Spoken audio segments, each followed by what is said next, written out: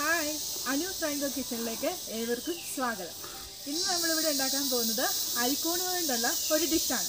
നമുക്ക് ആദ്യം അതിന് വേണ്ടിയിട്ട് അരിക്കൂണ് എവിടെയാണെന്ന് കണ്ടുപിടിക്കണം. അതുപോലെ തന്നെ നമുക്കത് പറിച്ചെടുക്കുകയും ചെയ്യണം നിങ്ങൾ എന്റെ വീഡിയോ പുതിയതായിട്ട് കാണുവാണെങ്കിൽ സബ്സ്ക്രൈബ് ചെയ്യാൻ മറക്കരുത്. അതുപോലെ തന്നെ കൂടുതൽ വീഡിയോയ്ക്കായിട്ട് ബെൽ ബട്ടണും കൂടി അമർത്തണം. എങ്കിൽ മാത്രമേ നിങ്ങൾക്കെന്റെ പുതിയ പുതിയ വീഡിയോസുകൾ കാണുവാൻ പറ്റുകയുള്ളൂ ഇനി നമുക്ക് അരിക്കോട് കണ്ടുപിടിച്ച് നമുക്ക് അതൊന്ന് പള്ളയുടെ ഇടയിൽ നിന്ന് പൊക്കി നമുക്കതൊന്ന് പറിച്ചെടുക്കാൻ വേണ്ടിയിട്ട് അങ്ങോട്ടേക്ക് പോവാം. വരും.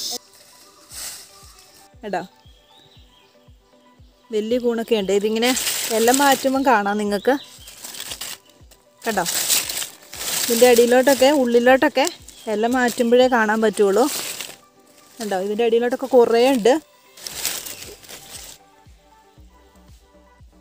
നമുക്കിതെല്ലാം പറിച്ചെടുക്കണം. ഇവിടെ മാത്രമല്ല ഇങ്ങനെ ഈ മരത്തിനോട് ചുറ്റിയുള്ള എല്ലാ ഭാഗങ്ങളിലും നന്നായിട്ട് കാണും. നമുക്കിതൊന്ന് പറിച്ചെടുക്കണം. പറിച്ചെടുക്കാൻ വളരെ ഈസിയാണ്. വെറുതെ ഇങ്ങനെ കൈ കൊണ്ട് ഇങ്ങനെ വലിച്ചെടുത്താൽ മതി. കണ്ടോ? ഇങ്ങനെ കിട്ടും. ഒരുപാട് മുറുക്ക പിടിക്കരുത്. അതിന്റെ തണ്ട് പൊട്ടിപ്പോവും. കാണാൻ നല്ല രസമുണ്ട്. ഇതുപോലെ തന്നെ നമുക്കെല്ലാം പറിച്ചെടുക്കാം. നമ്മളിപ്പോൾ കൂണ് കുറച്ച് പറിച്ചെടുത്തിട്ടുണ്ട് ഇവിടുത്തെ. ഇരുന്ന് കഴുകി വൃത്തിയാക്കി ഇതിന്റെ മണ്ണൊക്കെ കളഞ്ഞ് വൃത്തിയാക്കി എടുക്കണം. കൂൺ നമ്മൾ വൃത്തിയാക്കിയിട്ട് നന്നായിട്ട് കഴുകി എടുത്തിട്ട് അതിനകത്ത് മഞ്ഞളും ഉപ്പും ചേർത്ത് വെച്ചേക്കുന്നതാണിത്.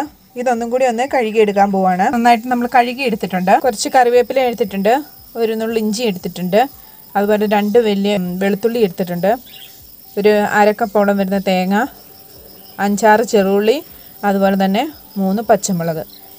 ഇത് അരിഞ്ഞെടുത്തിട്ടുണ്ട്. അതിലേക്ക് ഇട്ട് കൊടുക്കാം. ഒരു നുള്ളു മഞ്ഞ ആവശ്യത്തിന് ഉപ്പും മിക്സ് ചെയ്തെടുക്കാം. നമ്മളിപ്പോൾ മിക്സ് ചെയ്തിട്ടുണ്ട്.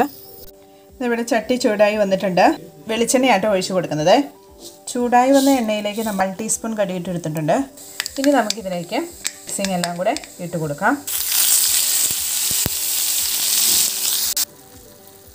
ഇതിപ്പോൾ നമ്മൾ മുഴുവൻ ഇട്ട് കൊടുത്തിട്ടൊന്ന് ജസ്റ്റ് ഒന്ന് മിക്സ് ചെയ്തിട്ടുണ്ട്. ആ ഓയിൽ എല്ലാ ഭാഗത്തും കടുക്കും എല്ലാ ഭാഗത്തും വരാൻ വേണ്ടിയിട്ട്.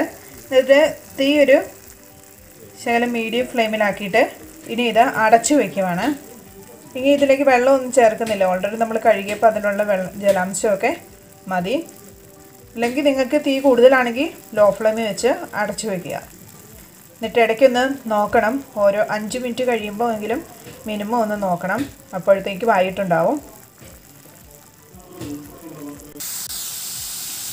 ഇപ്പം വെള്ളം പറ്റിയിട്ടുണ്ട്. ഇതിപ്പം കറക്റ്റ് വേവായിട്ടുണ്ട്. ഈ സമയത്ത് ഇതിനകത്ത് ഉപ്പിന്റെ അളവൊക്കെ നിങ്ങൾ നോക്കിക്കോണം. എന്ത് വന്നിട്ടുണ്ടോ എന്ന് നോക്കുക.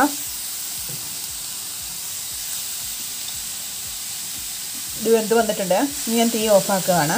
നമ്മുടെ കൂണ് റെഡിയായി കഴിഞ്ഞു. നമ്മളിതൊരു സെർവിങ് പ്ലേറ്റിലായിട്ട് മാറ്റിയിട്ടുണ്ട്.